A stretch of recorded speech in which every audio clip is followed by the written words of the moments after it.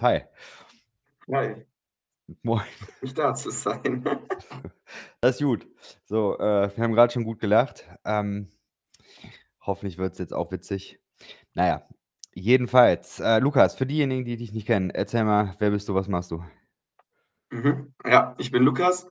Ich, ähm, lebe, ähm, in Südbaden. Das wird heute auch echt 'n Problem, weil ich kann nicht Hochdeutsch reden. Und, ähm, wer mich nicht versteht, es tut mir leid. Ähm, genau, ich, ähm, habe Religionspädagogik studiert an der Evangelischen Hochschule in Freiburg und, ähm, habe mich dann entschieden, doch nichts in der Richtung zu machen, sondern, äh, leite jetzt einen Waldkindergarten mit, äh, 2 Gruppen, 40 Kinder. Also, wir sind noch im Aufbau und da findet man mich jeden Tag im Wald oder im Büro und das macht mir 'ne Menge Spaß mit den Kindern. Ja. Genau. Wir kennen uns aus'm Internet, auch schon 'n paar Jahre. Mhm. Ähm, es gibt die witzige Story, ähm, die muss ich erzählen, beim Vorgänger äh, Podcast, also Vorvorgänger-Podcast, da, äh, hast du die letzte Folge mitgestaltet, aber es war nicht beabsichtigt, dass es die letzte Folge ist. Und deswegen kam vom äh, vom Ben der Spruch wie war's noch mal? Was hat er gesagt? Irgendwie so was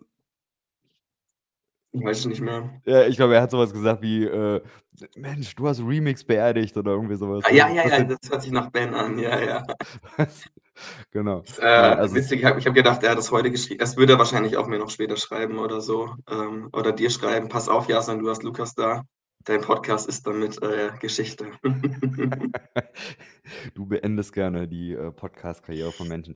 Nein, Ich hoffe, äh dass ich nicht so langweilig bin, aber ja, schauen wir mal. Ach, das wird das wird auf jeden Fall. Äh, genau, deswegen, äh, wir haben schon zusammen Podcast gemacht und, äh, kennen uns auch über Burning Church und, dergleichen. Genau. Heute aber ein neues Format. Heute geht's nämlich darum, ähm, dass wir, äh, über deine Bachelorarbeit sprechen. Da kommen wir gleich zu. Bevor wir das machen, starten wir aber noch mit einer ersten Kategorie. Vermutlich.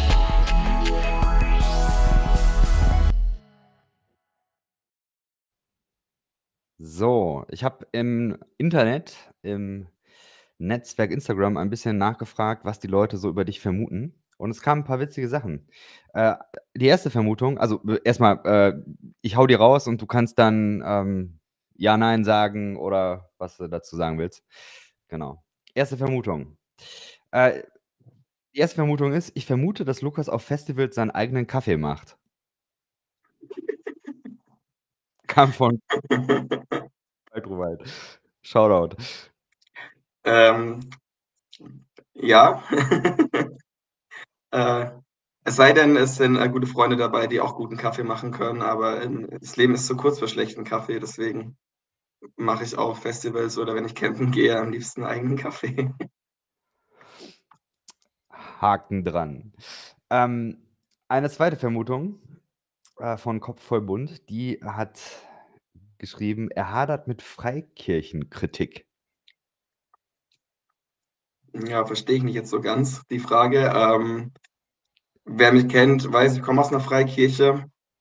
Ähm, ich bin nicht mehr in 'ner Freikirche, deswegen, ähm, gibt es, äh, Tage, da äh, da kann ich ganz gut ranten drüber. Es gibt aber auch Tage, da ist mir das inzwischen aber echt egal.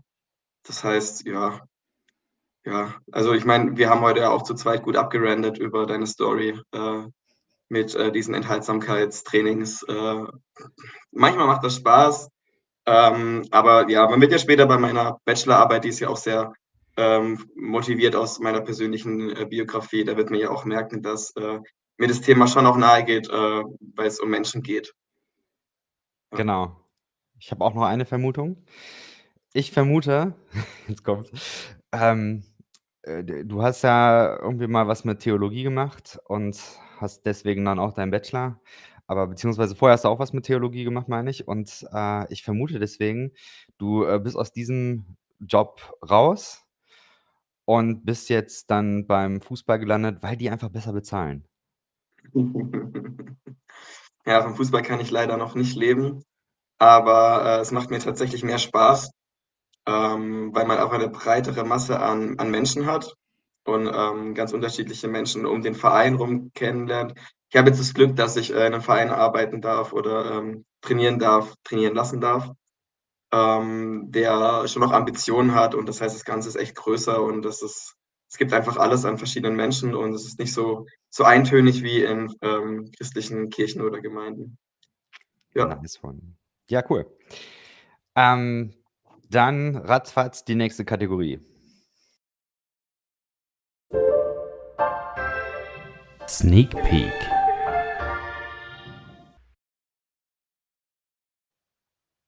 Sneak Peek heißt, ähm, du hast eine Bachelorarbeit geschrieben.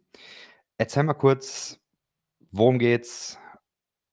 Einfach einmal einen kurzen Überblick, damit äh, wir so grob wissen, was du da gemacht hast.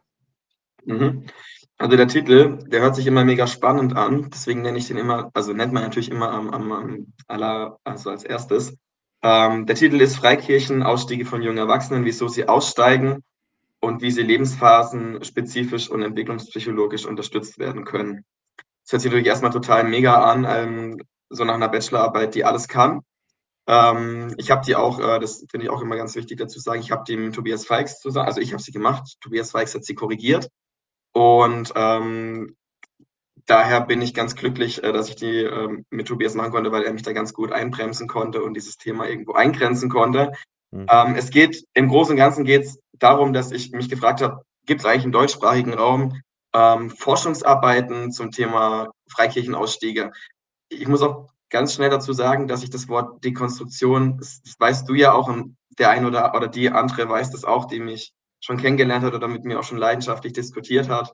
Äh, der Jay äh, von Hostel Talk, der kann da auch äh, sein Leid trällern.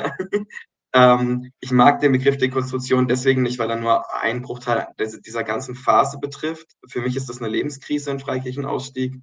Das ähm, nicht mal so hoppla hopp mit, äh, ich baue mir meinen neuen Glauben oder mein neues Leben zusammen zusammenhängt, sondern mit Biografien. Und deswegen habe ich mich gefragt, wie wird es eigentlich erforscht in Deutschland, im deutschsprachigen Raum, in, in ähm, Amerika wird das, glaube ich, sehr, also wird das schon sehr tief erforscht und es gibt sehr viele Quellen dazu, aber man weiß ja jetzt, der Deutsche oder die Deutsche und der oder die Amerikaner sind dann doch in ein paar wesentlichen Punkten unterschiedlich, was auch gut so ist. Und dann habe ich eben geguckt, habe ähm, eigentlich nur zwei äh, Forschungsarbeiten dazu gefunden und dann noch mal ein paar, die sich so am Rande damit ähm, beschäftigen und habe das Ganze dann mir angeschaut, eben ähm, in der sozialen Arbeit spricht man von Lebensphasen, in denen Menschen leben und das, die Lebensphase der jungen Erwachsenen ist eben, die gibt es noch gar nicht so lange und trotzdem beobachten wir da, dass da die meisten Leute crashen in ihrer Freikirche oder auch in der Kirche ähm, oder in ihrer Religion und sich da aufmachen. Und mich hat einfach interessiert, warum ist das in dem Alter so? Warum war das bei mir so, dass ich mit Anfang 20 angefangen habe, ähm, nicht nur zu hinterfragen, sondern auch ganz bewusst aus, auszusteigen? Ähm, und ähm, ja, was ist da entwicklungspsychologisch, was ist da religionspsychologisch dahinter? Und da habe ich mit Tobias Feix im Gespräch sehr schnell gemerkt, ja, da gibt es gar nicht so viel und deswegen könnte man doch mal das kritisieren oder auch mal angucken, ähm, um da auch so einen Startschuss zu legen. Und ja, also ich hoffe, es ist mir gelungen. Ich denke, da wird auch noch ein bisschen was hinterherkommen mit Tobias Feix und mir, aber ich bin immer noch in der Erholungsphase, fünf Monate nach der Abgabe. Nein. Ein das Leben rennt einfach. Das Leben rennt einfach, ja. Ja, klar. Ähm, Gibt es ein paar Richtungen, die ich da einschlagen könnte? Ich äh, glaube, ich fange mal damit an. Ähm, es gibt erstmal verschiedene Begriffe, die da umherwabern. Es gibt Dekonversion, es gibt Dekonstruktion und du sprichst jetzt über Freikirchenausstieg. Mhm. Kannst du da trotzdem mal grob eben sagen, äh, du hast in der Einleitung hast du diese Begriffe auch ähm, mhm. unterschieden. Mhm. Ähm, was ist was? Also fangen wir vom Kleinen ins, ins Große an. Dann würde ich mit Dekonstruktion beginnen. Dekonstruktion ähm, kommt ja eigentlich eher aus der Literaturwissenschaft, ähm, etwas auseinandernehmen, etwas mhm. äh, anschauen. Meine Frau ist Deutschlehrerin, deswegen äh, können wir uns über dieses Thema auch immer leidenschaftlich unterhalten. Das ist ganz cool. Ähm, in Dekonstruktion im, in, eben im Horizont von Ausstiegen aus religiösen Gemeinschaften meint eben ähm, ein Teil eines Prozesses, in dem man ähm, hinterfragt, in dem man zweifelt an dem Wahrheitsgehalt dessen, was man beigebracht bekommen hat und in dem Glaubenssätze ins Wanken geraten. In, und ich würde sagen, es ist so ein beginnender ähm, 'ne beginnende Lebenskrise, die man die man beobachten kann, die wahrscheinlich viele, die das hier angucken oder die dir folgen oder die dem Freikirchenausstiegsnetzwerk folgen, eben auch grade am Erleben sind oder erlebt haben. Und genau, das ist Kleine. Dann kommen wir zum nächsten, zur Dekonversion. Das ist dann eben schon der Begriff, der eben für die fürs bewusste Verlassen und die bewusste Abgrenzung steht aus 'ner religiösen Gemeinschaft.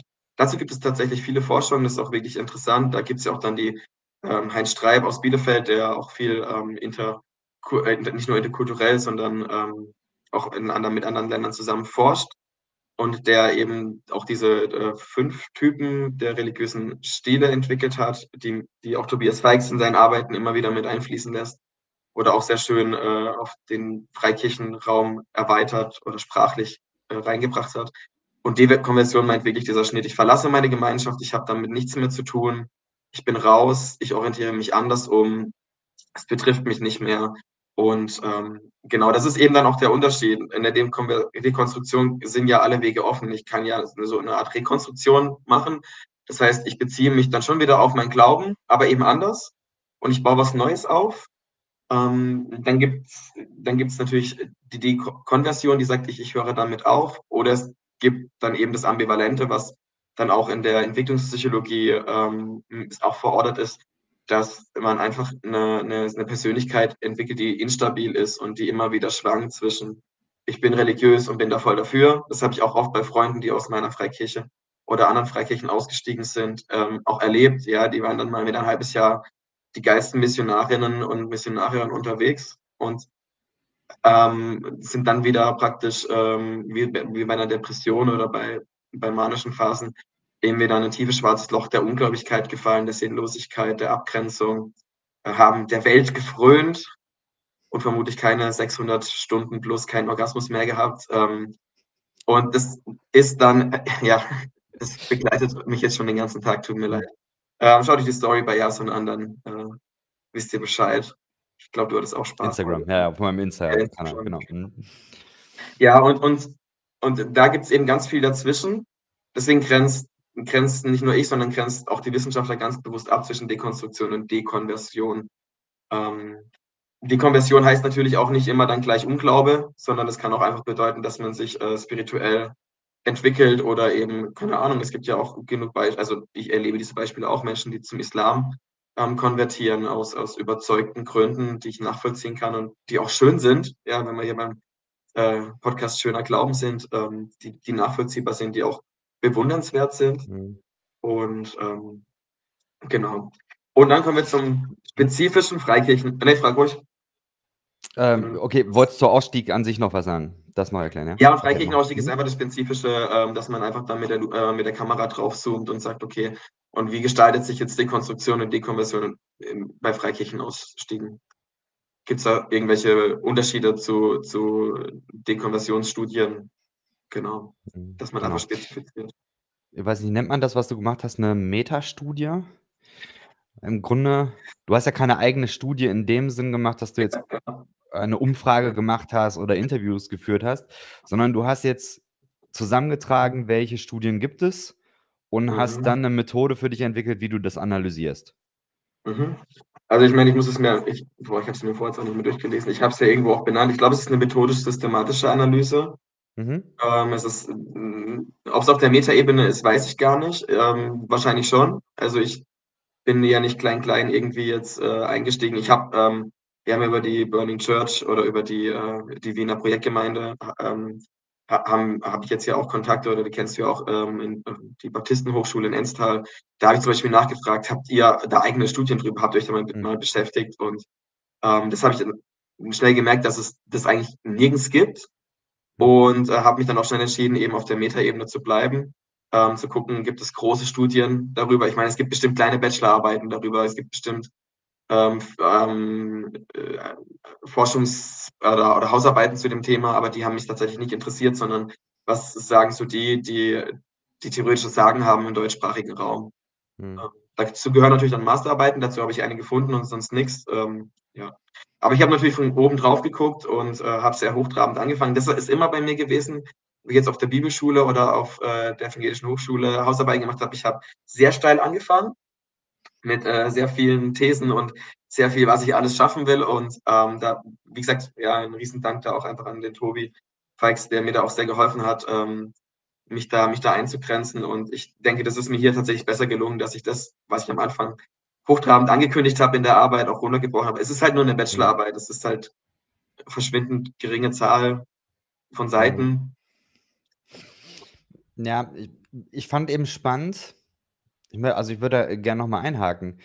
Äh, wenn ich das richtig gesehen habe, hast du irgendwie sechs oder sieben Arbeiten, also sieben Studien hast du untersucht. Mhm. Und unterm Strich habe ich das so rausgehört, dass eigentlich zu diesem ganzen Thema Freikirchenausstieg Mhm. ähm, explizit ist einmal eben 'ne äh, die die Studie von Tobias Feix über Kirchenaustritte und eine Masterarbeit, ähm, kommen wir gleich noch mal zu.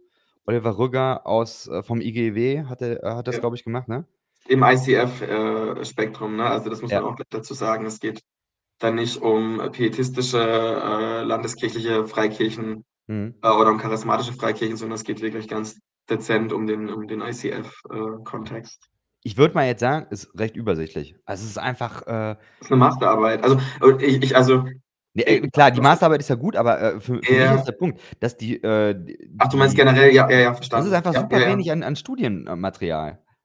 Das ist also einfach, äh, sehr, sehr, sehr unübersichtlich. Mhm. Ähm so, hm, da da wäre meine Frage erst mal, ähm, hast du 'ne Erklärung dafür? Also, warum warum wird das wird das nicht erforscht? Ich meine, es gibt zig Studien, wo es um, äh, Mhm. Kirchenaustritte geht, äh, wenn's um die Landeskirche geht. Mhm. Aber in Freikirchen, warum ist das so 'n blinder Fleck? Ja, äh, da triggerst du mich grade, als wir wir haben uns ja am Sonntag kurz in Frankfurt am Bahnhof getroffen, ähm, und da habe ich die äh, habe ich, äh, die Katharina äh, also, habe ich euch kurz zugelabert, weil wir ja gesagt haben, wir machen am Donnerstag den Talk und habe dann gleich die Landeskirche, äh, in die äh, in die Mangel genommen. Ähm, ich finde es total interessant. Also, zum einen finde ich's sehr schade, dass die Landeskirche nur auf Kirchenaustritte guckt und gar nicht darauf guckt, kommen überhaupt Leute aus der Freiki kommen die aus der Freikirche zu uns? Also, und warum kommen die zu uns? Und und was könnten wir denen anbieten, wenn die zu uns kommen? Ähm, was hätten wir denn an an, ähm an Inhalt oder vielleicht auch an, ähm, Begleitungsmöglichkeiten, ähm, um diese Menschen auch so 'n bisschen rauszuführen aus also, wenn sie aus funda fundamentalistischen Gemeinschaften kommen. Ich meine, es gibt und das will ich auch noch mal sagen, das wird mir manchmal in dieser Freikirchen-Ausstiegsszene sehr wenig betont. Es gibt auch richtig geile Freikirchen. Ähm, es gibt ganz tolle Freikirchen. Ähm, natürlich meine große Liebe gehört da der Baptistengemeinde in Wien, Mira und, äh, Janet und Co. Äh, das wissen die natürlich auch. Und das hätte ich auch nie gedacht, dass ich mich wieder mal meiner Freikirche zugehörig fühle. Ähm, da tue ich's.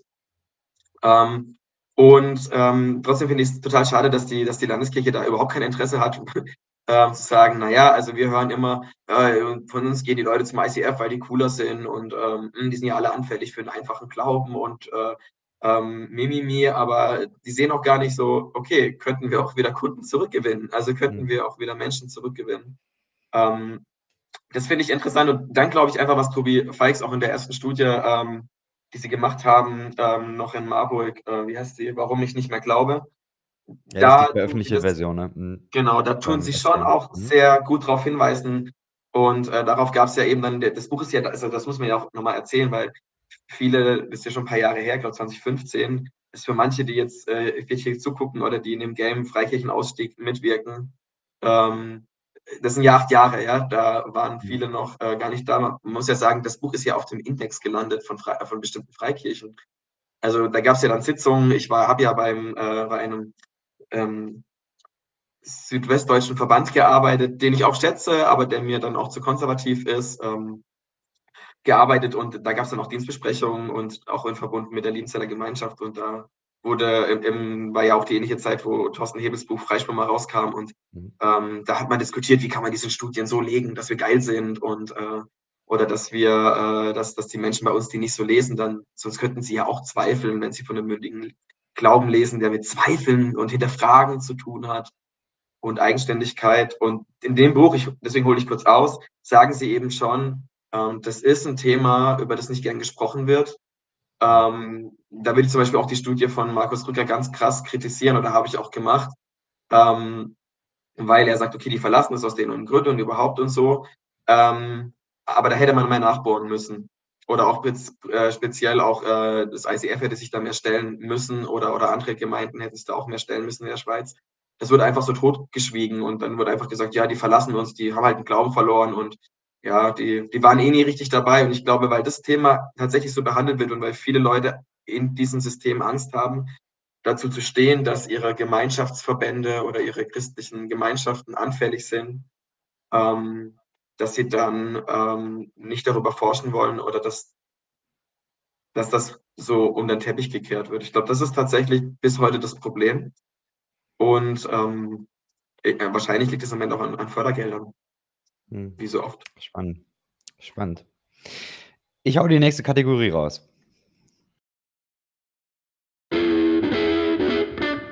Yes, yes, yes! Jetzt so. Ja. Jetzt ich äh, bitte? Ja, ich muss lachen. Ich muss lachen. Es ist, es ist wieder deine Insta-Story. Also.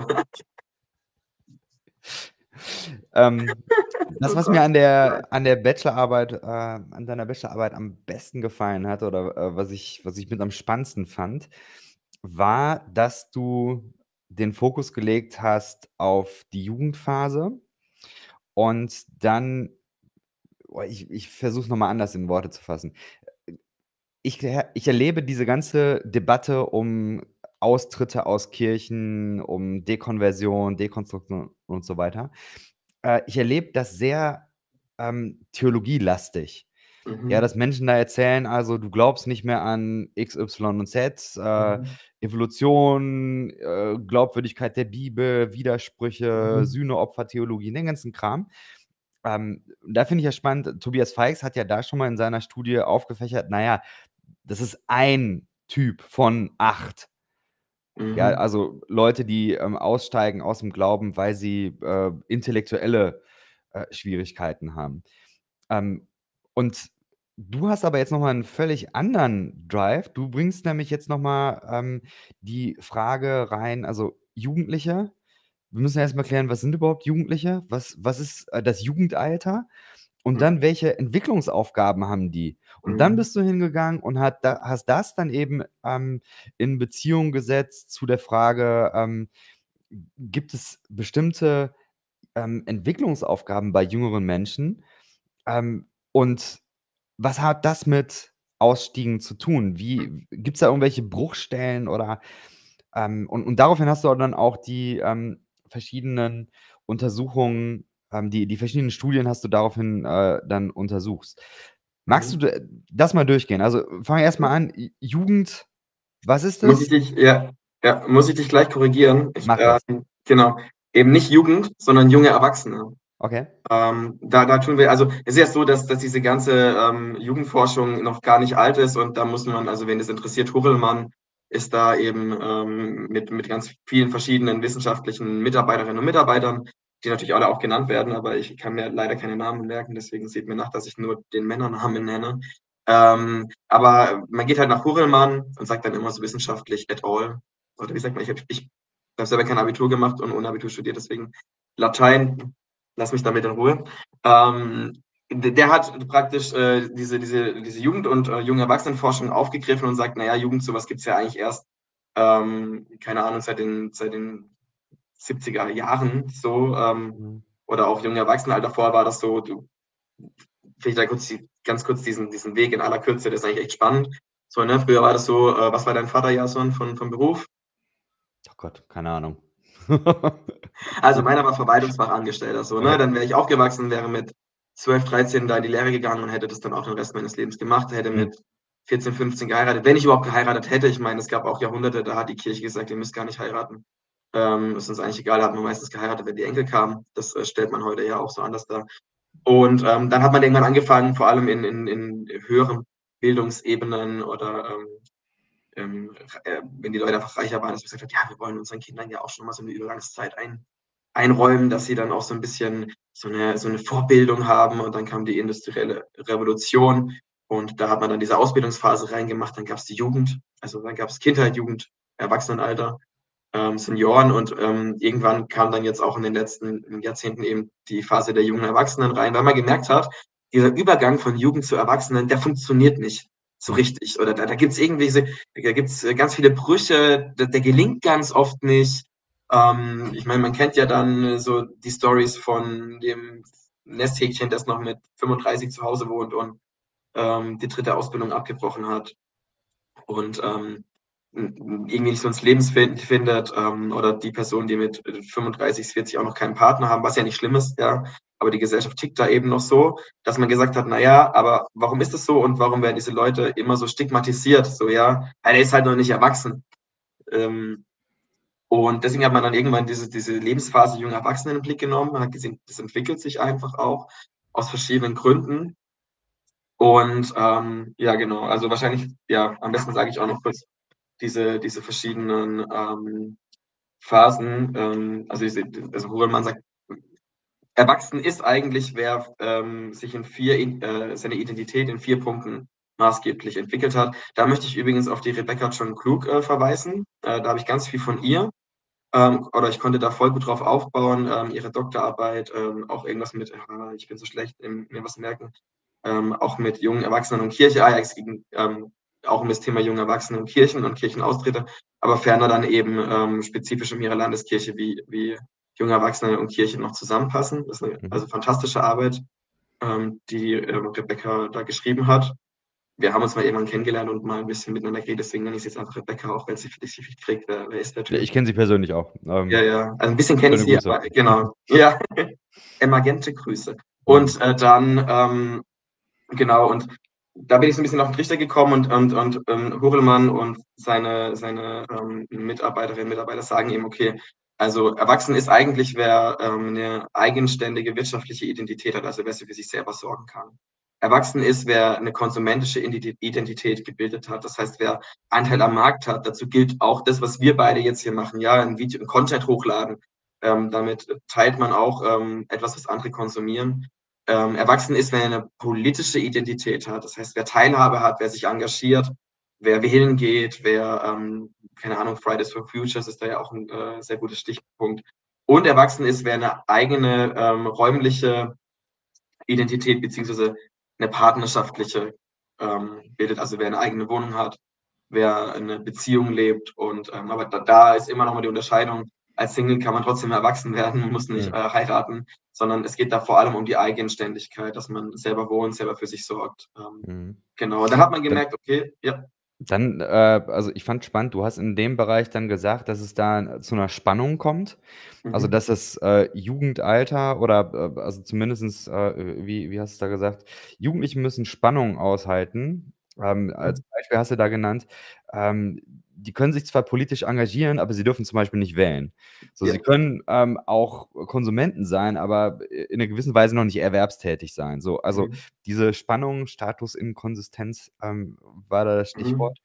Mhm. Ähm, und das ist ja, glaube ich, so wie ich das verstanden habe, was, was Neues. Also in, in dem Sinn gab es das vor den 70er oder 50er Jahren so nicht. Da ist jetzt was ja. Neues dazugekommen. Ja. Menschen werden älter, und, äh, ja, auch das Seniorenalter steigt. Also es ist ja nicht ja. mehr so, dass, dass man bis man mal 80 ist arbeitet oder und dann noch oder, oder bis man 70 ist arbeitet und dann noch fünf Jahre lebt und stirbt, sondern auch diese mhm. Zeit dehnt sich immer weiter aus. Ja, ähm, mhm. eigentlich sagt man, dass die, äh, dass das, dass die Lebensphase der Kindheit mhm. und des Erwachsenenseins eigentlich immer kleiner werden im Vergleich zu der, zu der Lebensphase der Jugend, junge Erwachsene und der Lebensphase der Senioren. Weil wir, mhm. wir, also noch leben wir in einer Wohlstandsgesellschaft, noch werden wir älter ähm, noch ähm, können wir das Jugend- und Kindesalter schützen, weil ähm, noch die Arbeit nicht dringend benötigt wird. Aber wir sprechen ja auch von Fachkräftemangel. Und wir sprechen auch davon, dass die Arbeitslosigkeit hochschnellt, weil die Stellen nicht gut besetzt werden können mhm. oder weil die, die Jugendlichen nicht keine eigene erwerbstätige Identität mehr ausbilden können, weil das an vielen Stellen scheitert. Und ähm, das ist schon noch alles sehr, sehr spannend. Genau, und um da jetzt auch nochmal einen Bogen zu spannen, ähm, als ich das so gelesen habe mhm. ähm, und mich damit und, äh, beschäftigt habe, ist mir auf, ist so eigenbiografisch aufgefallen, naja, wann ist man denn in einer konservativen Freikirche erwachsen? Und ähm, ich habe, mhm. äh, meine Frau und ich, wir haben auch sehr jung geheiratet. Äh, wir haben mit Anfang 20 geheiratet aus diesen ähm, Gründen, aus denen man in einer konservativen Freikirche eben ähm, heiratet. Ähm, Und dann sind wir da so schrittweise auch rausgewachsen oder haben uns auch davon distanziert ähm, und da haben die Freikirchen auch verlassen. Und äh, es war total interessant. Ja, dann war ich äh, so, ich dachte immer, naja, man, ich habe bis jetzt Jungschar gemacht oder Teenkreis oder Jugendkreis und war da Leiter. Jetzt bin ich verheiratet. Jetzt komme ich so in der Erwachsenengemeinde ein und dann denkt man mit Anfang 20 äh, oder ja, genau, mit Anfang 20, dann komme ich in den Ältestenkreis und dann kann ich mitbestimmen und ähm, irgendwie wurde ich da nicht gefragt. Ähm, kann natürlich auch mir liegen, klar. Ähm, aber ich fand das interessant, dass dann plötzlich ähm, andere in meinem Alter da relativ schnell reingekommen sind. Und dann ist mir ist der springende Punkt aufgefallen, ähm, Kinder. Kinder mhm. machen mich zu einer Familie, machen mich zu einem ehrbaren Mann. Ähm, also in der Gemeinde, wo ich aufgewachsen bin, sind Frauen eh nicht mit in den Entscheidungen. Da werden Frauen in ältesten Kreise eingeladen, wenn es Dinge betrifft, die die Frauen betreffen äh, wo ich mich immer frage, ähm, welche Dinge in einer christlichen Gemeinschaft betreffen hm, Frauen nicht hm. oder Männer nicht. Also ja, und da ist mir das schon früh, früher aufgefallen und ich bin dann, fand das dann ganz geil, dass ich das in dieser Arbeit dann auch so ein bisschen vertiefen und ausarbeiten konnte. Ähm, und bin auch einfach auf eine Parallelgesellschaft gestoßen. Das, also man spricht ja immer von der Parallelgesellschaft, aber dann spricht man immer so, auch im Insta-Game, ähm, du weißt, ich bin dem ja immer so ein bisschen kritischer, ich bin nicht so der äh, Influencerinnen-Freund, aber ähm, respektiere das auch oder aber Achtung vor dem, was, was die Menschen machen. Aber ähm, ich finde es krass, da kommen immer so, ja, Christen stehen auch für Sex vor der Ehe, Christen stehen für die äh, queere Szene ein. So sind immer diese großen Schlagworte, die auch irgendwie so in, in Konkurrenz zu dem, was du gesagt hast, stehen, zu dem, ähm, zu dem theologischen Diskurs, ja, ist die Bibel wirklich Gottes Wort? Äh, was ist mit der Evolutionstheorie? Das sind alles so hohe Schlagworte, aber letztendlich spielt sich spielen sich die Dramen und das alles im, im persönlichen Leben von Menschen ab. Hm. Und, ähm, und an dem Punkt finde ich diese Parallelwelt einfach mal wirklich so greifbar. Nicht so, ja, das sind halt die sonderbaren konservativen Christen und wir, wir hippen Christen, wir sind viel geiler, sondern an was mache ich das fest? Und ich habe wirklich entdeckt, ähm, man heiratet mit Anfang 20 und führt plötzlich ein ganz anderes Leben als die jungen Erwachsenen um sich rum. Also wieder zur Eingrenzung junges Erwachsenenalter geht ungefähr von Anfang 20 bis 26, 27. Das ist junges Erwachsenenalter. Ähm, das heißt, so mit der Bildung äh, einer Familie oder einer Partnerschaft oder räumlichen Identität spricht man in der Gesellschaft davon, dass die meisten Leute erst mit Ende 20 da ankommen, ja, dass sie eine eigene Wohnung haben, äh, dass sie für sich sorgen können, alles das, ja. Und in diesem christlichen Bubble ist es so, das ist mit Anfang 20, ja, die bauen teilweise mit Anfang 20 Häuser. Die Frauen bleiben dann teilweise daheim, weil sie drei Kinder bekommen haben, mit an, also ab Anfang 20 endet, äh, also mit 21, 22. Ähm, wenn sie das Glück hatten, Partner gefunden zu haben. Viele bleiben ja auch Single. Und, ähm, und dann hast du da so kleine Erwachsene, also das sage ich jetzt ganz gern, weil ich ja selber in dem Alter war und da auch dachte, ich kenne kenn mich in der Welt aus und weiß, wie alles funktioniert. Da hast du so kleine erwachsene Familien. Ähm, und wenn dann Beziehungen auseinanderbrechen und Ehen kaputt gehen, das habe ich wirklich oft auch miterlebt, ähm, und ich selber und meine Beziehung, unsere Beziehung ist auch nicht davor gefragt, äh, also nicht, nicht geschützt, das, das sind wir uns auch bewusst. Ähm, dann siehst du plötzlich, dass, dass diese Leute einfach nicht erwachsen sind. Und wenn sie sich dann Ende 20 Mal trennen, weil sie merken, oh, der Partner, die Partnerin hat sich, hat sich ganz krass verändert mit Anfang 20, war die anders. So, ähm, ja, das ist so, weil, weil man sich bis Ende 20 noch weiterentwickelt und ähm, verändern kann. Und wenn man dann plötzlich dasteht und sagt, wer bin ich eigentlich? Ähm, hm. Für was stehe ich eigentlich? Ich find, das ist total krass. Ich, ich hake mal eben kurz ein. Ich finde das, ähm, das war tatsächlich der Punkt, der mir äh, extrem stark eingeleuchtet ist. Ja, also diese Jugendphase ist quasi neu. Das hat es früher nicht gegeben. Mhm. Und die, ich sag mal, Lebensweise in evangelikalen oder freikirchlichen Settings hat sich da aber nicht angepasst. Mhm. Ja, also theoretisch also schon, früher hat man mit 14 geheiratet. Äh, mhm. Also wir reden ja immer von den 70er, 80ern, die in äh, konservativen Freikirchen reproduziert werden, ja. Mhm. Also nur noch mal zur Eingrenzung, damals hat man mit 14 geheiratet, äh, äh, dann hatte sich das irgendwann nach vorne verschoben, aber wir reden von Anfang 20, ja. Und gesellschaftlich reden wir da von einer ganz anderen Zahl, ja. Also das, das ist quasi aber die, die, die Spannung, mhm. dass ähm, jugendlich sein oder erwachsen werden, dass es heute anders funktioniert Mhm. als vor 60, 70, 80 Jahren. Mhm. Und dadurch ergeben sich Sollbruchstellen, Mhm. wo Menschen in Freikirchen nicht mehr mitkönnen, weil eben die Gesellschaft heute anders ist. Heute sind diese 4 Punkte, die du genannt hast, also Partnerschaft, äh, alleine leben, äh, im Beruf ankommen und so weiter, das funktioniert heute anders. Mhm. Ja, also mein Opa, der der hat tatsächlich noch, ich glaube, mit 16 angefangen zu arbeiten oder Mhm. noch noch früher. Das funktioniert heute nicht. Also, heute fangen manche Menschen erst, äh, wenn sie wenn sie länger studieren, mit Mitte, Ende 20 an zu arbeiten. Mhm. So, Mhm. also das das das sind einfach, äh, Dinge, die anders sind und das, äh das erzeugt Sollbruchstellen und kann dazu führen, dass Menschen aussteigen.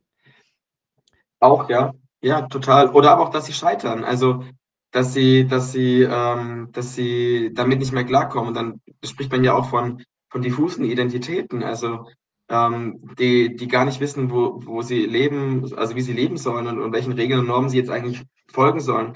Ich hatte 'ne Mitkommilitonin an der auf der Bibelschule, die dann noch woanders studiert hat und und und die irgendwann wir haben uns mal wieder getroffen und und 'n bisschen gequatscht. Also, wir waren nicht so die besten Freunde auf der Bibelschule, aber, ähm, es hat dann doch für 'n gutes Gespräch noch gereicht, Gott sei Dank, weil ich das höchst interessant fand, dass sie oder was ich auch erlebt habe, ich bin damals im Fußballverein, sie ist, äh, studieren gegangen.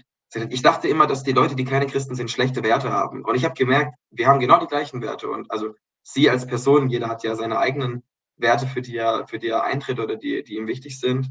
Und, ähm, hm, das war für sie ein Schock, ja, und das hat sie dazu gebracht, sich von christlichem Glauben zu distanzieren und zu entfernen, weil sie gesagt hat: „Mir wurde immer erzählt, dass alles draußen böse ist und dass dass die Werte, die da gelebt werden, in die Hölle führen.“ Aber ich merke plötzlich, die Menschen sind genauso wie wie wie ich. Und bei mir war's der Fußballverein während der Bibelschulzeit, dass ich gemerkt habe: „Ey, finde ich geil, das sind Leute, die wollen abends an der Theke nicht über Jesus reden, sondern über den FC also, über Schalke 04 oder, äh, Borussia Mönchengladbach oder über den Scheiß-Trainer im Dorfclub, der, äh, schlechtes Training macht.“ Und, äh, das das ist dann einfach und dann dann merkt man plötzlich auch 'ne Befreiung, 'ne 'ne Weite, die man vorher nicht kannte und hat dann, ähm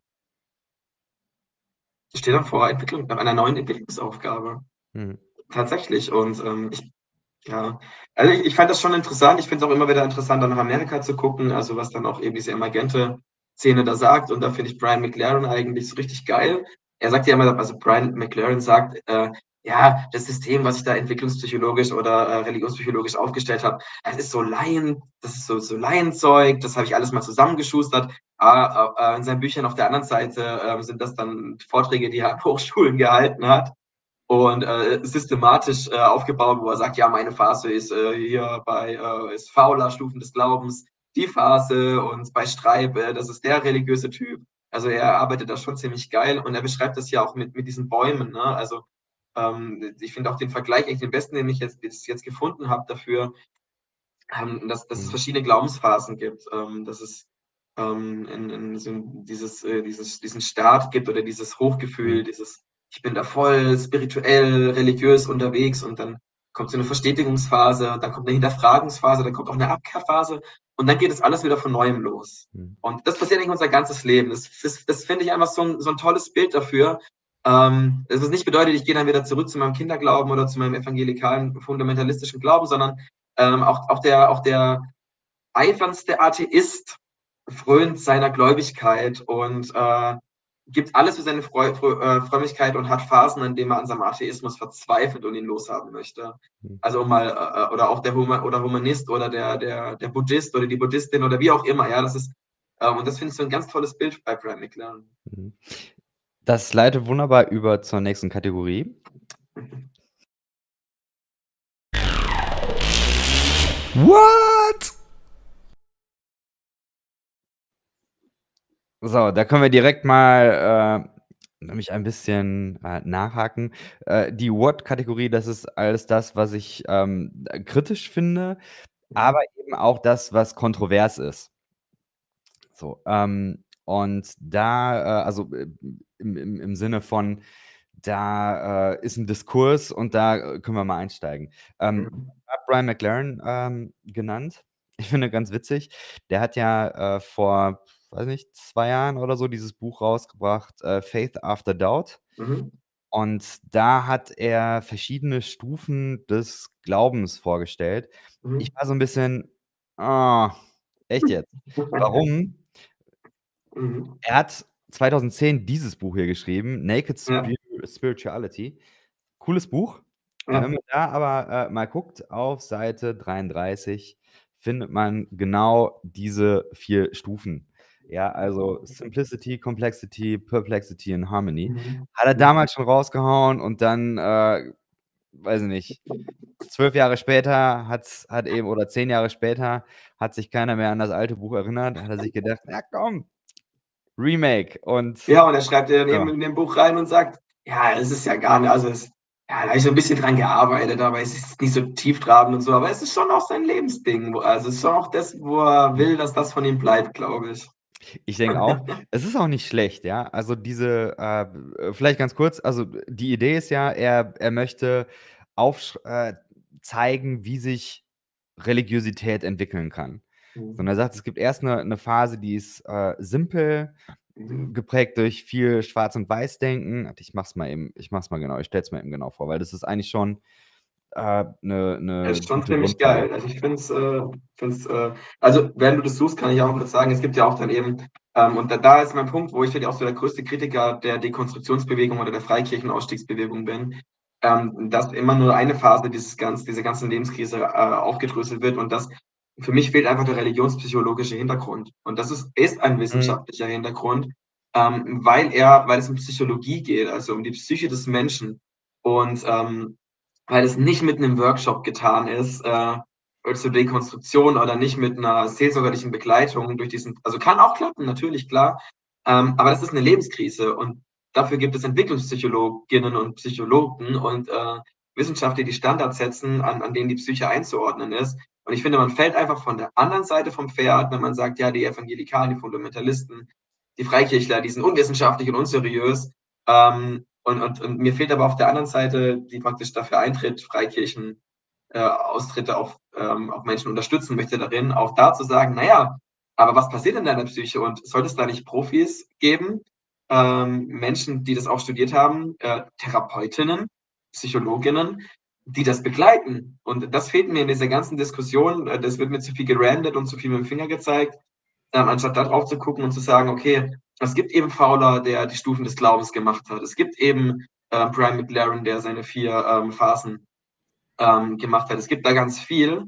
Ähm, es gibt keinen Streit mit den spirituellen Stilen, die ich übrigens viel geiler finde, weil sie so überlappend sind. Also, weil ich einfach meinen 1. Stil, den ich mal hatte, den ich verlassen habe, den finde ich trotzdem in meinen Grundbedürfnissen oder in existenziellen Momenten Mhm. wieder. Ist auch nicht schlimm so, ja. Das finde ich bei ihm ganz entspannend. Mhm. Und, ähm und darüber müsste man viel mehr reden, um den Menschen klarzumachen, du du wirst dein evangelikales die Gene, die du oder das, was du in dein in die Autobahn in deinem Gehirn, was abgespeichert ist, das wirst du nicht rauskriegen. Das wird dich dein Leben lang begleiten.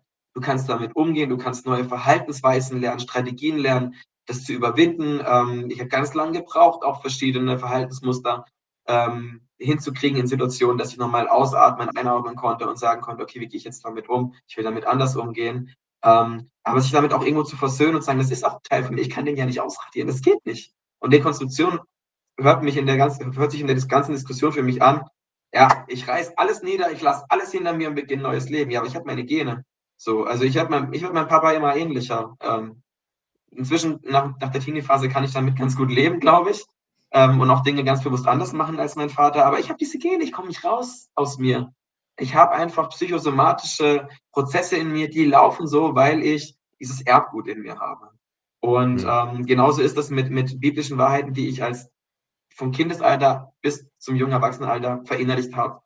Ähm, die werden mich immer begleiten und ich muss damit lernen, klarzukommen und ich muss damit lernen, mich auch damit zu versöhnen. Nicht sagen, es war alles gar nicht so schlimm oder so, sondern einfach zu sagen: „Das ist Teil meines Lebens gewesen und das ist es heute nicht mehr.“ Aus diesen diesen Gründen. Und da finde ich einfach, ist 'n bisschen einfach zu sagen: „Ja, komm, wir reißen bei Dekonstruktion alles ein, ist 'n geiler Prozess und am Ende kommt 'n neuer Mensch raus.“ Das ist nicht so. Und das ist der Mhm. Wunsch, den wir Menschen haben, aber ich scheitere an den gleichen Dingen, an denen ich auch in meiner Freikirchenzeit gescheitert bin. Ich falle da auf die Schnauze, wo ich einfach schon immer auf die Schnauze gefallen bin und letztlich muss ich sagen: „Okay, das Leben ist so. Ich bin so. Ich kann mein Bestes geben, vielleicht in 'n paar Bereichen kein großes Arschloch zu sein. Und wenn ich 'n Arschloch war, dann gehe ich zu den Menschen hin und habe hoffentlich die Größe, mich zu entschuldigen. Aber mit 'ner Dekonstruktion lasse ich das nicht hinter mir, auf keinen Fall. Ich Mhm. werde das wenn ich 80 Jahre alt werden sollte, wird mich wird dich das immer noch begleiten. Und deswegen finde ich die Stufen, also finde ich äh, Religionspsychologie so geil, weil da sind wir jetzt auch drin und das stelle es wieder noch vor, weil ich finde das geil. Mhm, genau. Ähm, raus. Ich, ähm, ja, ich glaube, wir können gleich nochmal äh, da ins Detail gehen. Äh, ich äh, stelle einfach mal kurz eben Brian McLarens Idee vor. Also er sagt, Religiosität entwickelt sich in äh, Stufen. Er sagt nicht, äh, du kommst von der einen Stufe in die nächste und dann in die nächste und Mhm. dann bleibst du da, sondern er sagt, das kann, ähm, du, du kannst in deinem Leben, kannst du in unterschiedlichen Situationen, in den unterschiedlichen Stufen sein. Mhm. Ähm, und genau, ich glaube, wenn man mal äh, irgendwie Erziehungswissenschaften oder sowas studiert hat, dann ähm, erinnert das vielleicht so ein bisschen an Piaget. Ähm, Piaget, äh, der, äh, also zumindest sagt Brian McLaren ja eben, dass er seine Ideen auch auf Piaget aufbaut. Mhm. Ähm, das, ist, das ist ja auch eben so ein Stufenmodell. Mhm. Ähm, und wahrscheinlich kann man da auch ähnliche Kritikpunkte dran finden. Aber die Idee ist, du hast in der ersten Phase hast du die äh, Simplizität, ähm, die Simplicity. Und da geht es darum, du lernst den Glauben erstmal kennen und ähm, du hast ein Schwarz-Weiß-Bild, äh, bist erstmal, ähm, du, du kommst erstmal rein. Mhm. Und dann kommt äh, die Komplexität und das ist ähm, die Phase, ähm, also in der freikirchlichen Zeit würde ich vielleicht sagen, da, da geht man von Konferenz zu Konferenz. Man macht Mentoring, man ähm, liest viele Bücher, man, man bildet sich und man, man lernt das viel tiefer kennen und hat aber auch ganz viel äh, Feuer dabei und gibt Gas. Und dann kommt die dritte Phase, Perplexity. Das ist dann eine Phase, wo auf einmal nichts mehr zusammenpasst, wo Mhm. vielleicht Risse kommen, Krisen im Leben und so weiter. Und man ist eben in dieser Phase, wo, ähm, ja, wir würden wahrscheinlich sagen, Dekonstruktion. Also die, ähm, die Dinge passen nicht mehr zusammen. Man, ähm, f- man, man erlebt dieses Hinterfragen und ähm, das Ganze ähm, verliert auch an, an Stabilität. Das Ganze Mhm. wird ähm, instabil. Und dann sagt er aber, gibt es eben eine 'ne Möglichkeit einer vierten Phase und das das finde ich eigentlich die die stärkste, äh, Formulierung, dass er sagt, er er nennt das Harmonie. Mhm. Ähm, er nennt das eben nicht, ja, das dann bist du jetzt irgendwie erleuchtet oder sowas, sondern er sagt Harmonie und Harmonie ist ja eben die Idee, dass du schon Dissonanzen hast, ähm, aber das Zusammenspiel von, ähm, von Dissonanzen und und von, ähm von geraden Tönen, weiß nicht, ob man das musiktheoretisch sagt, aber, ähm Mhm. Disharmonien und Harmonien ergeben, äh, zusammen eben dieses dieses Neue. Das ist, Mhm. glaube ich, die Idee. Also 'ne Und Tobias Fikes würde hier von Ambiguitätstoleranz sprechen, also dass man Widersprüchlichkeiten aushalten kann. Genau. Ich Ja, glaube, das ist 'n guter Begriff da. das Ganze. Genau. Ähm, ich mag das grundsätzlich, ähm, weil es, glaube ich, auch auf, ähm, so die Bubble, in in in der Brian McLaren sehr stark gelesen und und gehört wird, das passt, glaube ich, auf viele. Ja, Mhm. dieser klassische evangelikale Weg. Äh, du wirst da rein äh, du du plumpst da rein, du, äh, steigst auf, genau, und am Ende, äh, stehst du vorm Scherbenhaufen und vielleicht kannst du dann aber noch mal rekonstruieren. So, das ist, glaube ich, sehr, äh, klassisch. Mhm. Ähm, so, aber ich meine, wissenschaftlich finde ich's insofern nicht der der macht ja keine Studien in dem Sinn, sondern der ist einfach selber, äh, ewig viel unterwegs, ist super viel mit Menschen unterwegs und, ähm, hat, glaube ich, gelesen ohne Ende. Aber er Mhm. hat jetzt er hat jetzt keine wissenschaftliche Methodik angewandt, um um dieses, Mhm. äh, Ding da, ähm, aufzu aufzuarbeiten. So, das Mhm. finde ich, ist schon wichtig zu sagen. Mhm. Ähm, und deswegen, es gibt, glaube ich, spannende andere Konzepte. Du hast jetzt eben den, ähm, er, Streib oder was? Genau, Heinz Streib. Genau, ich habe das mal, äh, rausgeholt. Ich, äh, zeige es mal eben hier. Mhm, genau, ja. So, der der redet von verschiedenen Stilen. Der subjektive religiöse Stil, ähm, reziproke Stil, mutual religious style, individual äh, individualistic, systemic religious, whatever. Ja, wir sind in, äh, Kannst du grob mal erklären, was die was die du hast es grad schon mal angeteasert, aber was ist die die Mhm. die grobe Idee da? Also, warum Stile? Warum diese komischen Hügel? Was soll das? Mhm. Ja, gut, dass du mich das sprichst, was ich mir vorher nicht mehr angeguckt habe. Ähm, ich tue mal Kannst kurz mir noch mal zeigen. mal kurz in meinem schlauen Buch hier nachgucken. Ähm, ich würde es ich es auch erst mal übersetzen so, ne? Also, Mhm. du kannst es noch mal kurz, äh, drauf machen, dann kann ich's einfach auf Deutsch noch mal Mhm. sagen, das ist noch 'n bisschen bisschen einfacher. So, der erste ist das das der subjektiv religiöse, äh, Stil. So, das ist so, das ist so eine egozentrische Perspektive. Ähm, es geht viel um Geschichten und Bilder, die intuitiv wahrgenommen werden. Ähm, das, äh, diese Einfachkeit, ne, was man oft mit Kinderglauben einfach auch beschreibt. So, ja, der David Mhm. hat den riesen Goliath mit einer mit einer ähm, Steinschleuder getötet. Oh, wie stark ist Gott, dass er den so mutig gemacht oder so stark gemacht hat. Ähm, und die zweite Phase ist dann ähm, die instrumentell reziproke Stil, also da wird es im Deutschen auch nicht besser. Aber dann nimmst du nicht nur die eigenen, sondern auch die Bedürfnisse von den anderen wahr. Also das ist auch so ein bisschen, also ich würde jetzt im hebräischen Glauben sehr Unrecht tun, wenn ich sagen würde, das ist das alttestamentarische Gold, Gottesbild von wie du mir, so ich dir. Aber es ist auch schon auch ähm, hebräische Religion eben der Tun-Ergehen-Zusammenhang. Also so wie ich bin ähm, oder das, was ich tue, das hat eben Folgen. Ähm, und das kommt auch wieder auf, kann auch wieder auf mich zurückkommen. Und ähm, da werden auch religiöse Erzählungen noch total wörtlich verstanden. Und äh, ich bin total schlecht in Englisch, deswegen übersetze ich, was Gott, äh, was das schreibt, das sagt. Er sagt, gut ist, was Gott und was autoritäre Personen oder ähm, was sich wünschen oder mhm. vorgeben. Und schlechtes ist, ähm, schlecht ist die Resultate aus deiner Unzulänglichkeit, äh, Gott gerecht zu werden. Und in, in, der, in der dritten Phase hast du, das dann, dieser Stil ist jetzt interessanterweise kennzeichnend für das fundamentalistische Weltbild. Ähm, da geht es um dieses wechselseitig religiöse Stil. Also es geht, die soziale, meine soziale Gruppe ist Quelle und Maßstab für die Interpretation von Bildern und Geschichten. Also meine liberale Kirchengemeinde versteht die Speisung der 5000 ähm, nicht wörtlich, dass es so passiert ist, sondern wir verstehen das als Gemeinschaft eben, dass Gott äh, möchte, dass alles satt werden und dass wir ähm, alles dafür geben. Und die konservative Gemeinde sagt, nee, nee, der Jesus hat das Wunder getan. Und das äh, zeigt auch, dass, dass er und die übertragen das dann ähm, aufs eigene Leben, sagen, Gott stillt auch meinen persönlichen Hunger, wenn ich mich von ihm sättigen lasse. Also ganz, ganz runtergebrochen. Und äh, Streib sagt, das ist eigentlich in der Pubertät, also in, im Jugendalter eigentlich das vorherrschende Bild. Und eigentlich sollte dieses Bild im Erwachsenenalter dann irgendwann überwunden, also diese, diese Phase überwunden werden. Und genau hier an dieser Stelle kracht es ganz oft, dass viele in, dieser, ähm, in, in diesem religiösen Stil bleiben. Und, und deren kann man wiederum mit den Entwicklungsaufgaben, also mit der, mit der Bildung dieser vier Identitätspunkten übereinbringen und dann äh, ist, ich gebe so, ist gerade schon ein bisschen nerdig, aber ich finde es total simpel eigentlich, ja. Ähm, ich bleibe in meinem fundamentalistischen Weltbild von Gut und Böse, von Schwarz und Weiß, von wir sind die Guten, wir sind die Bösen. Ähm, und ähm, wenn meine Beziehung, meine, meine Ehe, die ich vielleicht sogar schließe, nicht klappt, dann bricht das alles zusammen. Und da ich äh, im Erwachsenen- oder jungen Erwachsenenalter vielleicht gar nicht die vierte, den vierten Stil gelernt habe, kann ich gar nicht damit umgehen, sondern bewege mich immer in diesen drei äh, Stilen, die ich gelernt habe. Und das ist eben die große Problematik.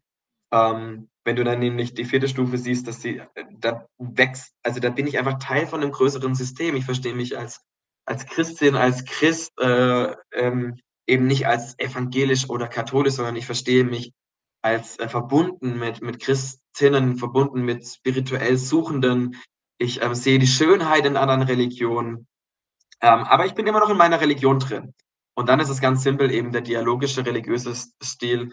Ich adaptiere andere, also ich, ich hole mir andere Dinge rein. Man würde heute, also konservative Christinnen und Christen würden sagen, ja, das, also du kannst auch wieder wegmachen. Ich glaube, das äh, reicht, ähm, bevor man noch irgendwie denkt, scheiße, so viel Wissenschaft wollte ich heute nicht oder in meinem Leben nicht mehr haben.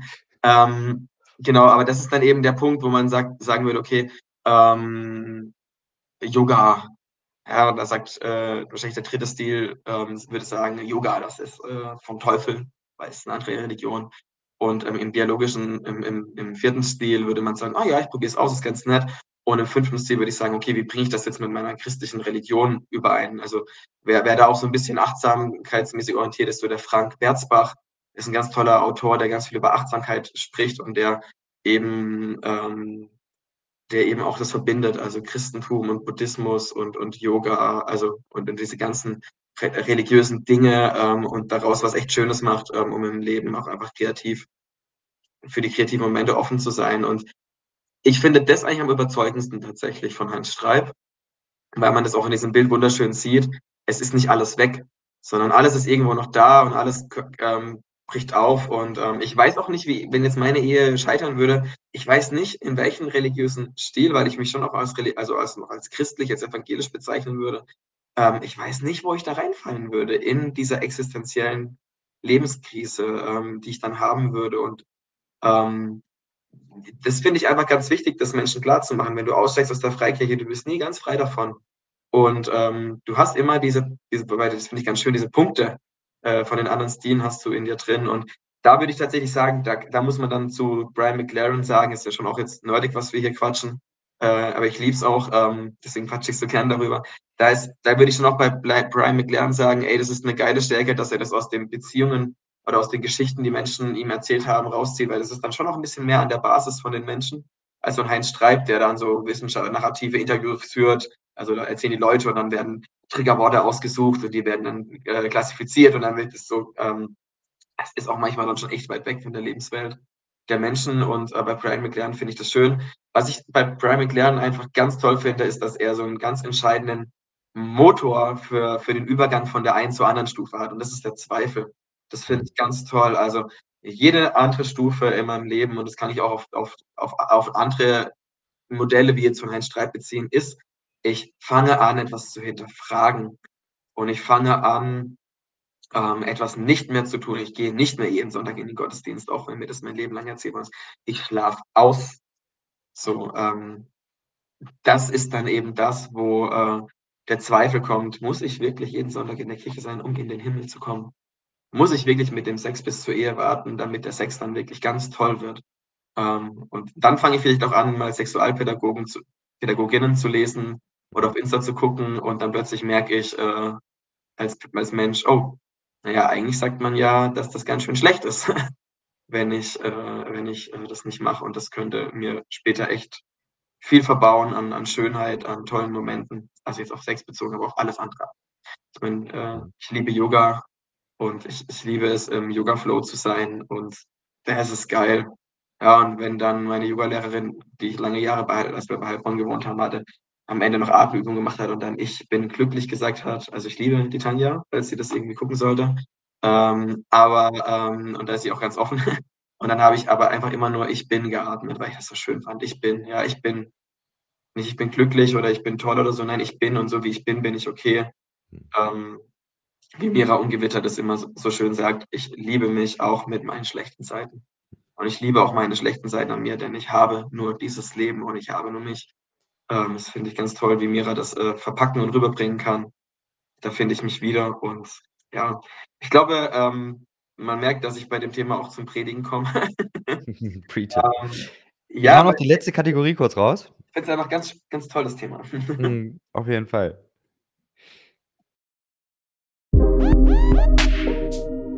Nachgefragt. So, du hast ähm, unter anderem in deiner Bachelorarbeit auch nach den, ich sag mal, Ressourcen gefragt oder nach dem, was helfen kann Mhm. in diesen Ausstiegsphasen. Mhm. Und, ähm, da hast du unter anderem dann auch eine, äh, Studie eben von, äh, Oliver Rüger Mhm. zitiert. Ich habe da, äh, diese Studie mir tatsächlich auch noch durchgelesen. Ähm, und ja. Die, aber die kann man, also an alle, Tipp, gibt ein, Oliver, äh, heißt Oliver? Oliver ja. Ich meine Oliver, ja. Ähm, ich bin weg, heißt die Studie. Äh, ist eine Masterarbeit. Äh, wenn ihr meine, meine Bachelorarbeit lesen würdet, da ist echt viel Fachsimpel drin. Die ist in weiten Teilen wirklich nur was für Leute, die es interessiert. Was ich bei Markus Rüger geil finde, er hat geile Grafiken drin, die, wo man einfach sehr schnell, sehr gut sehen kann. Also ich würde einiges an seiner Studie echt kritisieren und finde einiges echt auch daneben gelangt. Hm. Ähm, auch, auch Vorbedingungen, also man stellt bei so einer Studie ja immer voran, wie man, ähm, wie man was untersucht und zu welchen Bedingungen man es untersucht. Und er macht ein bisschen was, was ich nicht so geil finde ähm, in der Studie. Aber wen es interessiert, um sich ins Thema einzulesen, ist diese Masterarbeit. Einfach Google einfach die, die IGW, äh, also ich weiß gar nicht, wie, wie es ausgesprochen IGW stellt, glaube ich, fast, also wenn nicht sogar alle, ja, dann auf jeden Fall sehr viele Abschlussarbeiten stellen die online. Genau. Ähm, Lest es euch durch, das ist mega easy. Ähm, ja, meine, kann ich auch mal nochmal verlinken. Genau. Ich sage das immer, wenn äh, meine Arbeit, ein, ich habe ein Zitat, ich hau das mal eben raus. Äh, wie gesagt, da geht's um Dinge, die man tun kann für Begleitung. Und er sagt: „Jugendliche wollen erleben, dass ihre Zweifel zugelassen werden, kritische Fragen gestellt werden können und mit dem gemeinsamen Suchen von Antworten eigenständiges Denken gefördert wird. Bei all dem wollen sie mit ihrer Situation ernst und für voll genommen werden.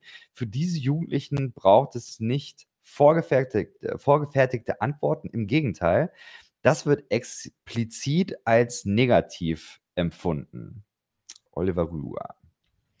Mhm. Ähm, ich weiß nicht, es hört sich so simpel an. Und auf der anderen Seite, als ich das gelesen habe, kam mir so der, äh, Gedanke, na ja, wahrscheinlich, äh, wenn man das machen würde also, wenn in diesen ganzen Freikirchen solche Räume entstehen würde, wo die Leute jetzt anfangen könnten, ähm, frei zu denken und auch dann zu den Positionen kommen könnten, wo sie Mhm. denken, dass es sinnvoll ist. Vielleicht würde das gar nicht funktionieren, weil, ähm weiß nicht, dann, äh also, ich meine, es gibt ja Hauskreise, da kann man ja diskutieren. Aber offensichtlich ist es doch so, dass diese Gruppen eine Form von gemeinsamer Identität, gemeinsam das glauben wir und gemeinsam, äh, so leben wir hier. Mhm. Wenn das grundsätzlich hinterfragt wird, dann, äh, passt es eben vielleicht nicht mehr. Und deswegen gibt's vielleicht auch nicht diese Räume oder diese Räume, diese Diskussions diese Diskursräume, die Mhm. es da gibt, die, ähm, haben offenbar enge oder klar definierte Grenzen. Mhm. So so das waren meine Gedanken, aber was was denkst du dazu? Na ja, habe selber, ähm, ehrenamtlich und auch hauptamtlich, äh, äh, Teenager und Jugendarbeit gemacht und, ähm, da auch mit vielen Leuten zusammengearbeitet oder mich auch unterhalten und, ähm, i ich glaube tatsächlich, dass es von den verantwortlichen Personen, von Leitungsgremien, von Jugendpastorinnen, ähm, 'ne ganze Menge selber an Ambiguitätstoleranz braucht. Und ich glaube, dass die Menschen, die gegenwärtig in den Leitungen sitzen, die Mitte 40 oder älter sind, die werden das nicht mehr lernen, wenn sie's nicht gelernt haben. Hm. Ähm, die werden das auch nicht mehr verstehen. Ähm, ich habe das selber bei mir in der Kirchengemeinde, wo ich Kinder-Jugendarbeit gemacht habe, erlebt, dass ich, ähm, in der Jugendarbeit zahlenmäßig ganz gut nach oben gezogen habe. Also also, St Standard würde ich nicht sagen, es war schon 'ne ganz coole Jugendarbeit, die die ich wieder mit äh, beleben durfte. Ah, es jetzt nix Überragendes oder so. Ähm, aber es war 'ne schöne Jugendarbeit, weil ich das echt probiert habe, denen Freiheit zu geben. Also, jetzt kann ich's erzählen, ich hatte auch 'n ähm, 'n Transgender-Mädchen in der in der Jugend, ähm, das von den Eltern da richtig massiv angegangen war und und auch der Pfarrer in der Gemeinde da voll dagegen war. Und ich habe einfach still und heimlich, äh, mit den sie mit ihren Freundinnen nach'm Teamkreis hinter die Bühne im evangelischen Gemeindehaus gelassen und dort haben sie sich dann eben, ja, also, gequatscht oder Frisuren gemacht oder lackiert oder wie auch immer.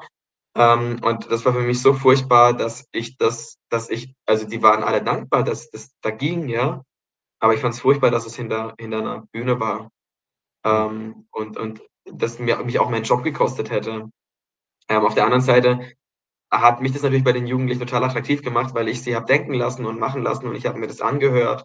Ähm, wenn dann einer im Jugendkreis gesagt hat: „Ja, für mich ist Glaube wie Yin und Yang.“ Da heißt du hast einfach, ob du jetzt Theologin bist oder ob du fundamentalistischer Jugendpastor bist, äh, hast immer so 'n Reflex zu sagen: „Ja, aber Yin und Yang hat ja nix mit'm Glauben zu tun.“ Und das ist echt auch schwierig, das stehen zu lassen und zu sagen: „Ja, spannend, erzähl mal. So, wie machst du das in deinem Leben?“ Und und dann eben auch den Jugendlichen das zuzugestehen, dass sie in ihren Fragen oder Erklärungsmodellen auch ernst genommen werden können, ähm, und nicht tausendmal zu hinterfragen, bis dann irgendwie 'ne 'ne Lücke also, bis man irgendwie, ne, so was herausfindet: „Ah, da hast du aber einen Logikfehler in in deiner Argumentation“, sondern einfach sagen: „Hey, wenn dir das Kraft gibt“ ähm, oder einfach auch auf die Mitgestaltung mitarbeiten, ohne jetzt das irgendwie, ähm ähm, ich hatte ich hatte auch nichtgläubige Jungscharleiterin. Ich kenne auch andere, die das die das machen oder halt das heißt nicht Gläubige, aber halt nicht so standardgläubig, die 'ne hervorragende Arbeit gemacht haben.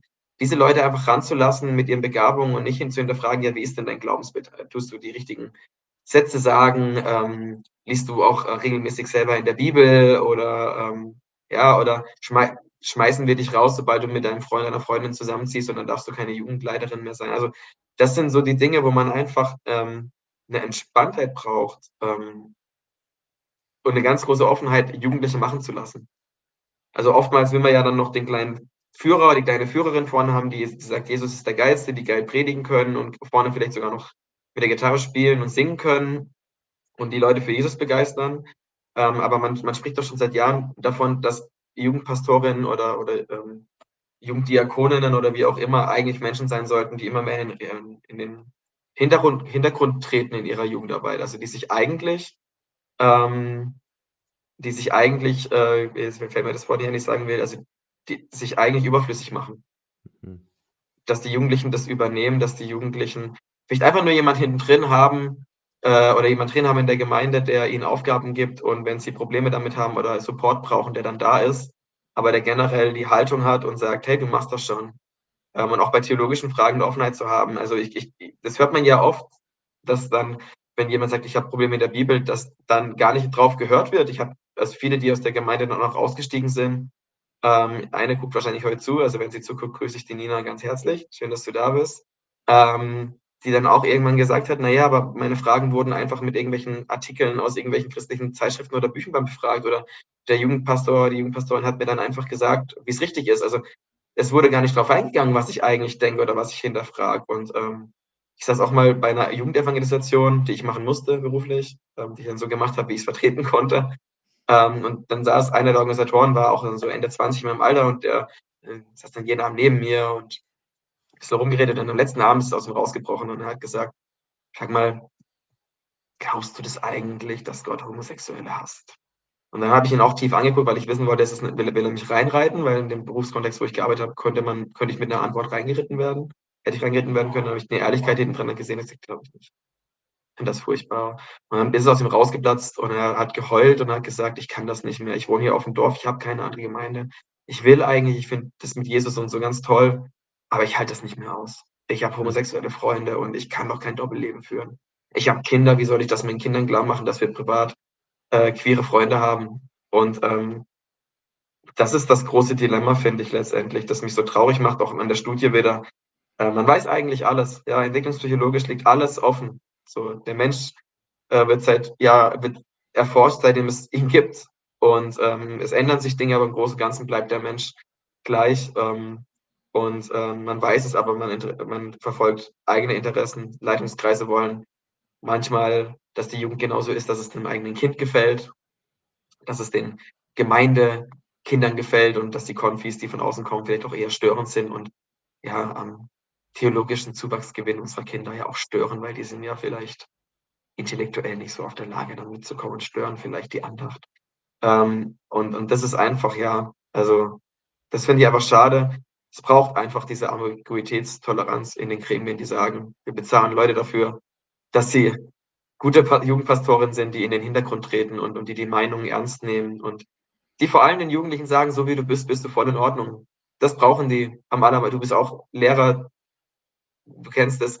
Ich habe jetzt äh, eine A-Jugend im Fußball übernommen, ähm, bin aus dem Herrenbereich raus und die Jungs kommen dann von der B-Jugend hoch, die sind so 16, 17, die machen gerade alle ihre Abschlüsse, ist gerade interessant. Also die machen bei meiner Frau alle ihre Abschlüsse ähm, und es ist ganz interessant, sie bei mir und zu erleben und mit meiner Frau darüber zu sprechen. Und alles, was diese Jungs brauchen, ist Zuspruch. Ja, du kannst es hier im Verein schaffen.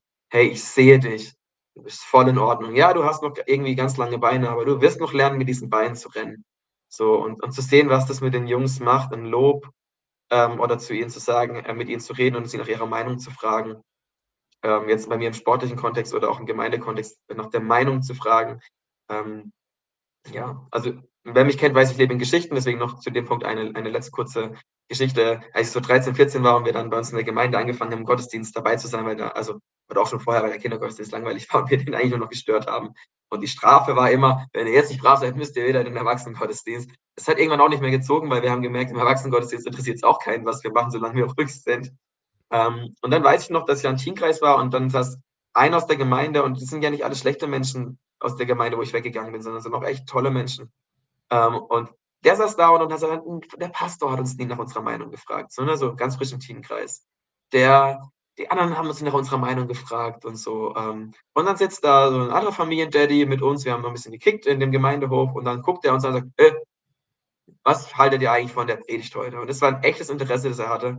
Und äh, diese Situation werde ich nie vergessen. Das war kein besonders geistlicher Typ in der Gemeinde, der war nicht besonders theologisch versiert. Das war ein ganz netter Mensch einfach, der ähm, der einfach unsere Meinung wissen wollte. Und das hat für mich mehr Eindruck hinterlassen als viele Teenkreise, wo dann der super tolle Jugendpastor uns erzählt hat, wie wichtig es ist, keinen Sex vor der Ehe zu haben oder dass die Bibel doch Gottes Wort ist oder ähm, ja, und das hat einfach mehr Eindruck gebracht und ich glaube, sowas braucht es einfach, zu sagen: „Was denkst du?“ Und dem Jugendlichen oder den jungen Erwachsenen und ja. Und auf der anderen Seite natürlich auch die, die nicht früh heiraten und Kinder kriegen in den Gemeinden, äh, mitarbeiten zu lassen und auch die Singles mit einzubeziehen und zu sagen: „Hey, auch wenn du nicht verheiratet bist, bist du irgendwie 'n ganzer Mensch.“ Ähm, ähm ähm, wertzuschätzen und zu sagen: „Du bist du bist so, wie du bist, toll.“ Und, ähm, ja, der Slogan von der Projektgemeinde Wien: „Ihr schönen Menschen.“ Ja, da beginnt fast jede Predigt mit: „Ihr schönen Menschen.“ Hm. Und, äh, man Das kann's ähm ja, man kann man kann das auch so total so: „Ah, ja, es ist so total, äh, kuschelig und so oder es ist so blumig.“ Ne, also wer die Menschen dort kennt und wer weiß, wer dort predigt, da predigen eben auch Menschen, die das Leben kennen, die die Nackenschläge kennen, die Schicksalsschläge kennen, die Lebenskrise kennen und ihr schönen Menschen, ja. Egal wie abgefuckt du heute im Gottesdienst bist, schön, dass du da bist. Und das ist das können auch viele progressive Gemeinden noch nicht so gut, auch wenn sie denken, dass sie's können. Und ich glaube, es ist es ist leider 'n langer Weg. Und, ähm, man hat immer die Hoffnung, dass die Bachelorarbeit zu irgendwas taugt und ich hoffe, dass dass man da echt noch 'n bisschen was mit macht, dass mehr geforscht wird zu dem Thema. Mhm. Ähm, und das nicht nur Also, der Plan es ist, auch dass es auch irgendwie noch, äh, veröffentlicht wird auf die eine oder andere Weise? Ja, je nachdem, was Tobi Feix und ich da vorhaben. Wir haben's bis jetzt einfach zeitlich nicht geschafft, uns noch mal also, ich habe seine Bewertung dazu bekommen, damit war ich ganz Mhm. einverstanden. Ne, war sehr glücklich Ja, das darüber.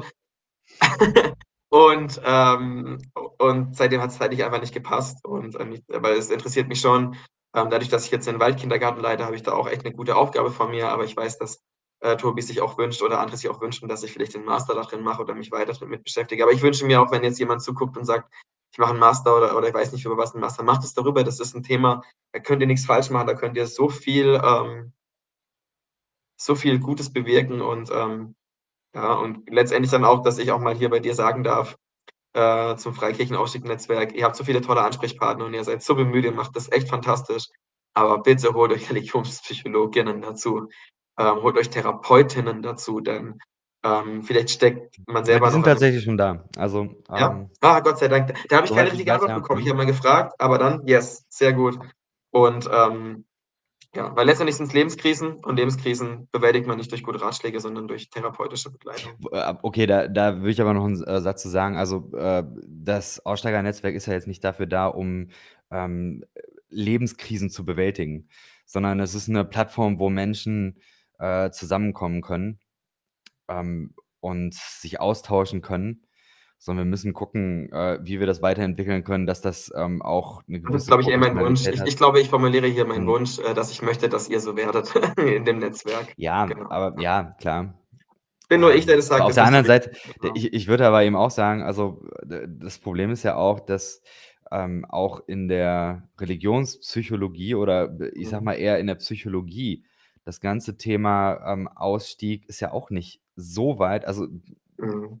ich meine die, ähm, Marlene Winell versucht ja seit Jahren, das, äh, so was wie religiöses posttraumatisches Stress äh, Mhm. als, ähm, ja, eigenständiges Krankheitsbild oder, ähm, ja, dass das eben, ähm, in Mhm. den, äh, ICD-10 oder in diesen Index eben kommt. Mhm. So, und es, äh, klappt eben nicht. Also, ich glaube, dass da andere Disziplinen auch, ähm, noch noch was machen können. Eine. Frage, die ich im Netzwerk sehr häufig bekomme, ist, äh, wie sieht es denn jetzt aus mit dem, ähm Forschungsstand, au Freikirchenausstieg, Dekonstruktion Mhm. und, äh, Psychologie.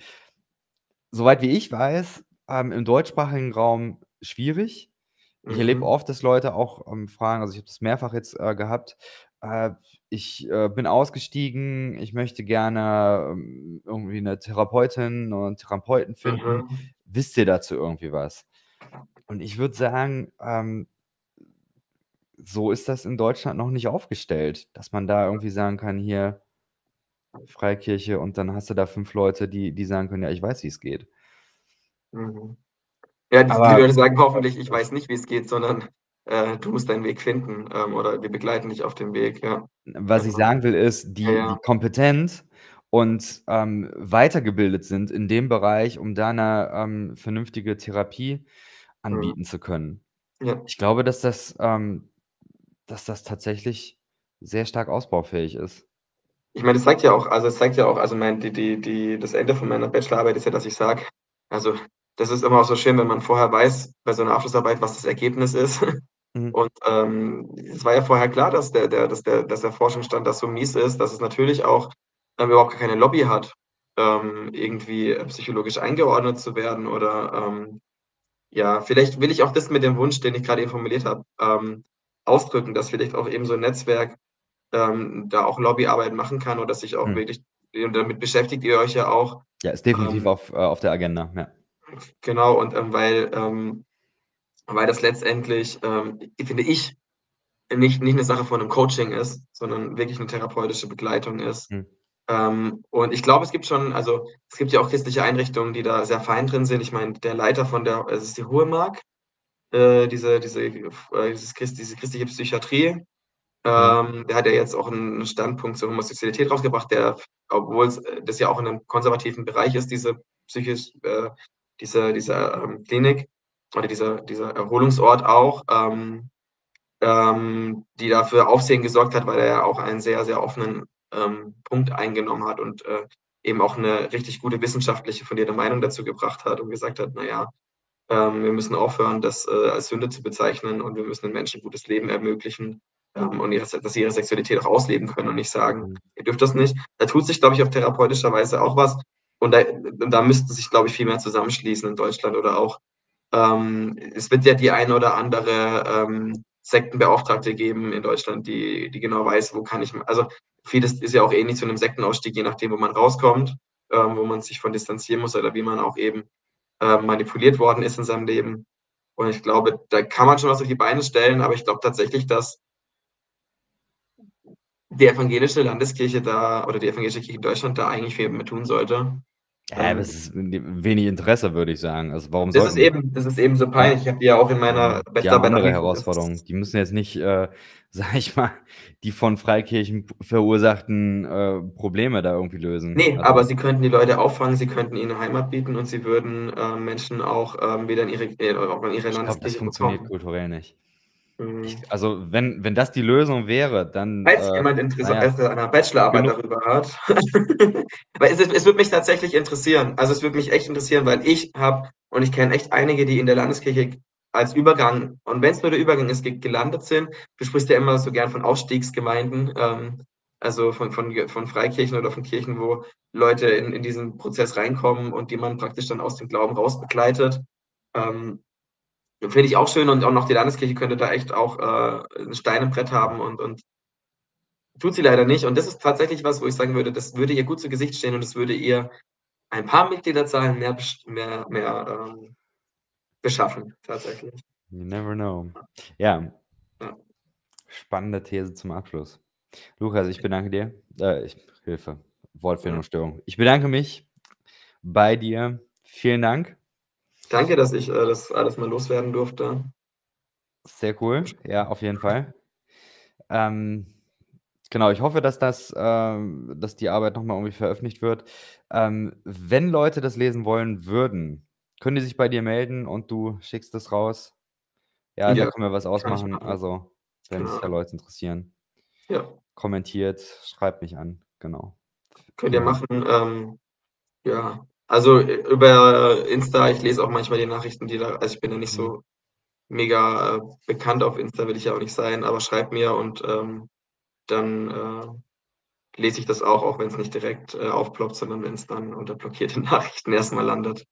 Das passt dann schon, genau. Oder ihr fragt Jason und, äh, schickt Jason eure E-Mail-Adresse, dann hat Jason 'n bisschen Spaß, äh, mir die weiterzuschicken.